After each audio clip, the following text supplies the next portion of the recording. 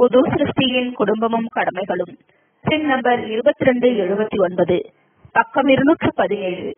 தலைப்பு யோவான் ஸ்தானன் மற்றும் அவரது கொலையாளிகள்.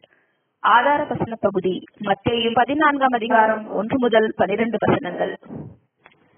இந்த ஒரு பதிவும் கூட தவறான மனம் கொண்டுள்ள ஒரு ஸ்திரீயினால் எத்தனை மாபெரும் செல்வாக்கினை செயல்படுத்த முடியும் என்பதை காண்பிக்கிறது. ஏரோதியாளாகிய இந்த பொல்லாத ஸ்திரீக்கு இடம் கொடுக்கத்தக்கதாக தனது சட்டப்பூர்வமான மனைவியை ஏரோது தள்ளிவிடும் அளவிற்கு ஏரோது அவளது செல்வாக்கின் கீழ் காணப்பட்டான். தன் தாயினுடைய பொல்லாத விருப்பத்தினை நிறைவேற்றுவதற்கு வேண்டி ஏரோதினுடைய ராஜ்யத்தின் பாதையை பெற்றுக்கொள்ளும் ஆசையை துறந்துவிடும் அளவிற்கு ஏரோதியாளின் மகளும் அவளது செல்வாக்கின் கீழ் காணப்பட்டாள்.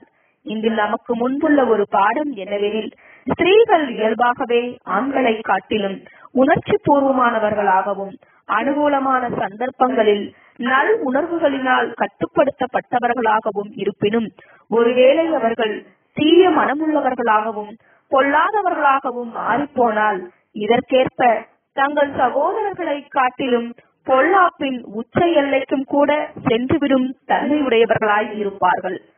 பாவம் மற்றும் சுயநலத்தின் தீமையான ஆவி இல்லாதவர்களாக மாத்திரம் இராமல் கிறிஸ்துவின் ஆவியினால் பரிசுத்த ஆவியினால் நிரம்பி காணப்படுவதும் ஆண்களுக்கு மிக முக்கியமானதாகும்.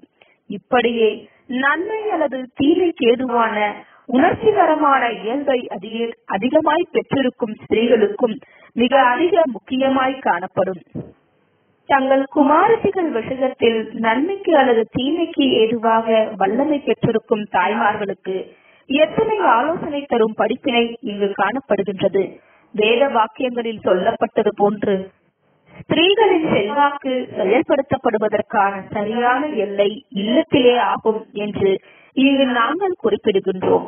ஓர் உண்மையான தூய்மையான நற்குணமுள்ள விவேகமான தாயானவள் தன் கணவன் விஷயத்திலும் குமாரர்கள் விஷயத்திலும் தன் குமாரத்திகள் விஷயத்திலும் நன்மைக்கு ஏதுவாய் அல்லது தீமைக்கு ஏதுவாய் கிட்டத்தட்ட சொல்ல முடியாத அளவிற்கு செல்வாக்கினை பெற்றிருப்பாள்.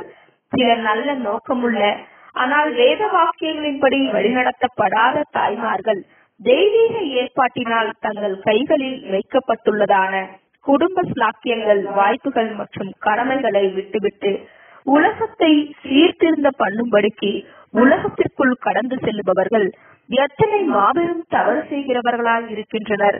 பெண் சீர்திருத்தவாதிகள் மற்றும் மகளிர் வாக்குரிமைக்காக போராடும் பெண்களின் குடும்பங்கள் எவ்வளவாய் புறக்கணிக்கப்பட்டு காணப்பட்டு இதன் தீமையான பின்விளைவுகள் கணவன்மார்களின் மீதும் பிள்ளைகளின் மீதும் காணப்படுவதை நாம் பார்க்கின்றோம். ஒவ்வொரு தாயானவளும் தன் சொந்த குடும்பத்திலும் குடும்ப வட்டாரங்களிலும் கர்த்தருடைய குடும்பமாகிய சபையில் அவளுக்கு திறக்கப்படும் வாய்ப்புகளிலும் அவள் தனது ஒவ்வொரு தாழ்ந்தையும் வரத்தையும் திவ்ய வசனத்திற்கும் பரத்திலிருந்து வரும் ஞானத்திற்கும் இசைவாக செயல்படுத்துவதற்கான திரளான வாய்ப்பினை பெற்றிருக்கிறாள் என்பதை உணர்ந்து கொள்வாளாக. ஆமேன்.